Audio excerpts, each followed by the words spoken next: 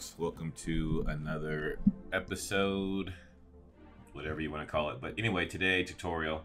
Today I wanted to show share with you where I get all of my LUTs and filters from for all my Photoshop uh, pieces. So adjustments here, if you go to adjustments and the color lookup table and you have a color lookup uh, adjustment layer, this is where I gonna show you all the ones that I have. So these are the ones that I have loaded on here.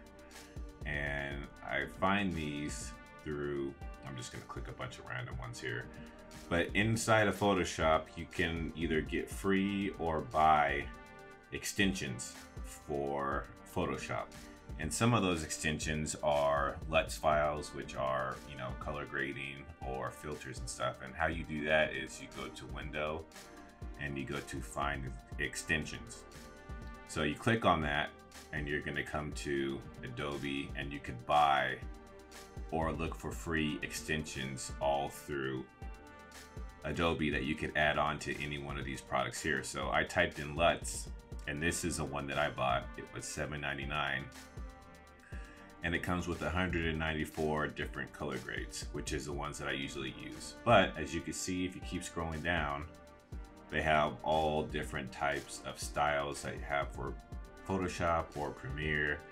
Um, I clear this off.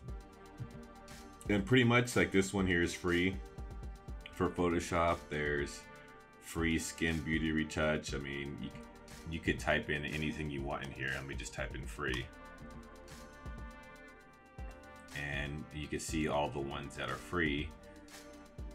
But anyway, yeah, that's how I found my extension. So when I do color grading and everything in Photoshop, the main set that I use is that 194 pack and it comes with all these different types. And so I usually just pick the ones that I like the best and then just expand on that.